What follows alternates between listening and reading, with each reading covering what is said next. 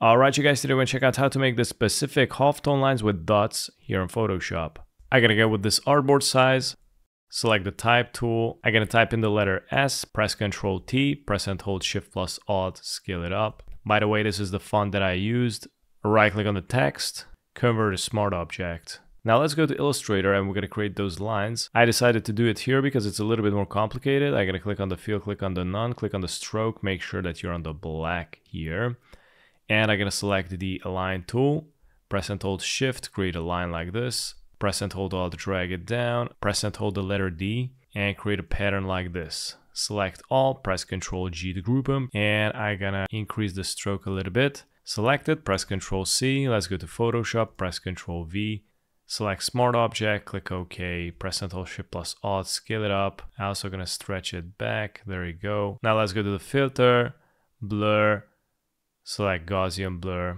We're gonna make those lines blurry. I gotta decrease it so it's still gonna be visible. I gotta go with somewhere around seven-ish, click OK. And now we're gonna go and select the Gaussian blur here, press and hold Alt, and drag the Gaussian blur on the letter S as well.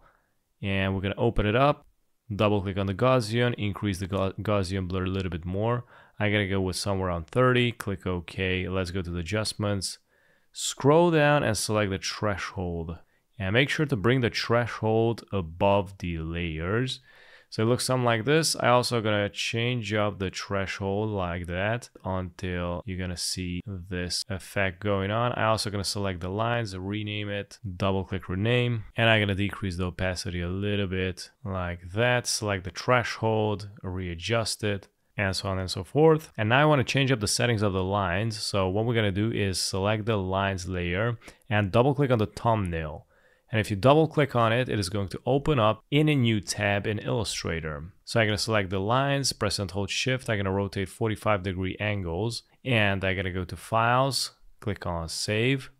Let's go back to Photoshop and check this out. It instantly updated. Now I'm also going to go back to Illustrator, select the lines and we're going to go to the strokes, activate the dashed lines and I'm going to go with these values 11 and 3 now let's check out what happens. Press Ctrl S or you can go to File, Save, but I already saved it. So let's go back to Photoshop. Now we're gonna try to customize it a little bit. Now I'm gonna go to the letter S.